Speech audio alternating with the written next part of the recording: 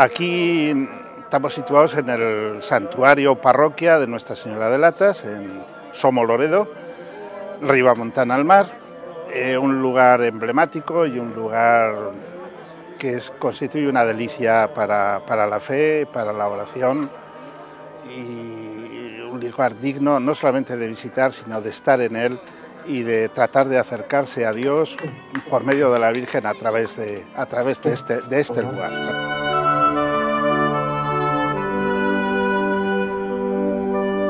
Ha sido la, preparación ha sido la habitual con la, novena de, a la Virgen de Latas y ha acudido la gente, tal vez un poquito menos, porque con, todo el tema de, la pandemia, pues ahí hay mucho miedo, pero lo hemos hecho con, yo creo que con, intensidad interior, intensidad interior.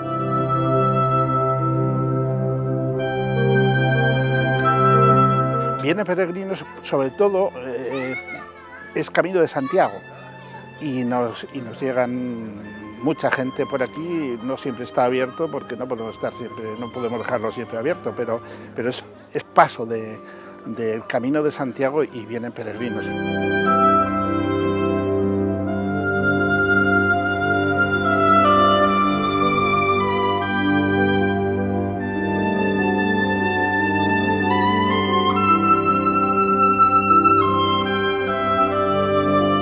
Para preparar esta fiesta, esta, la, Eucaristía, la Santa Misa de hoy, ya es una cosa como muy, no digo rutinaria en el sentido que sea una rutina, pero que ya va, saliendo solo, pues hay eh, personas que atienden de la ornamentación, todo que esté preparado, el ayuntamiento nos echa una, una mano muy grande, las juntas vecinales también, eh, luego el plantel de, de monaguillos, eh, todo, todo. Hay personas siempre que colaboran, porque si no sería, sería prácticamente imposible. Entonces lo preparamos con esa ilusión, sabiendo lo que es la, Eucaristía, sabiendo que ahí está el fondo y la raíz de todo, y a través de, de María llegamos a la Eucaristía y llegamos a Dios.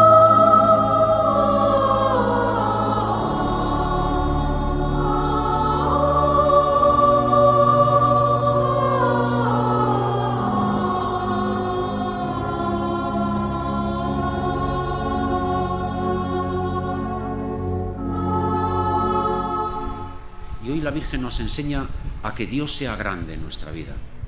Fijaos que hay tantas cosas en las que tenemos que meter a Dios para disfrutar de la belleza. Incluso en medio de la dificultad, incluso en medio de la enfermedad.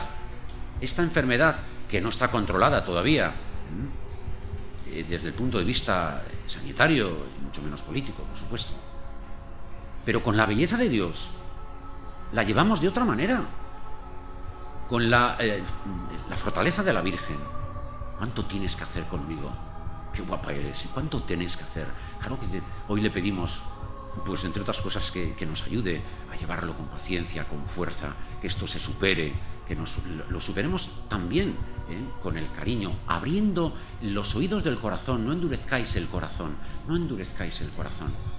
La belleza de la Santísima Virgen, que tiene origen divino, está en que Dios sea grande en la sociedad.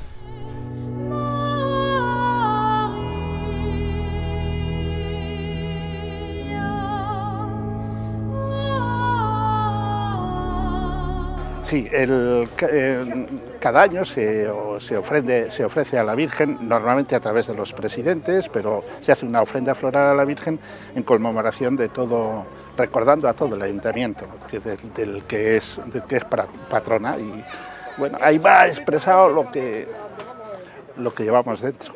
Quiere ir expresado la, la alegría y la ofrenda plena y total a Dios, pero a través de María. Es importante resaltar, me gusta resaltar mucho siempre que el fin es Dios.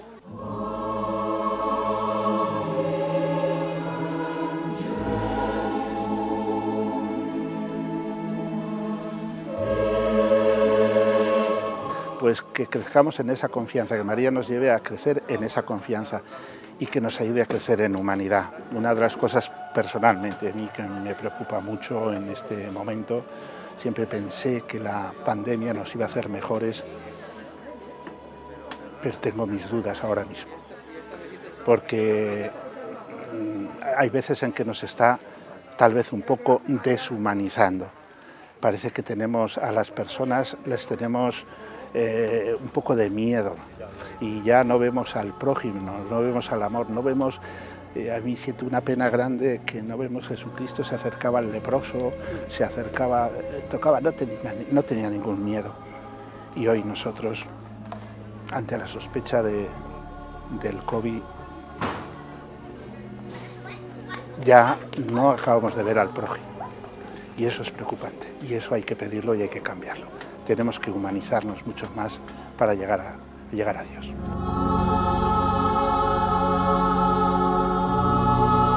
Esto está abierto para todos. Eh, este es un lugar de culto, es un lugar maravilloso para acercarse al Señor a través de nuestra Madre Santa María y que si pueden vengan. Y aunque a veces igual no podemos atender, no se puede atender todo como se quisiera, pero venid, que la Virgen nos espera y nos va a premiar muy mucho.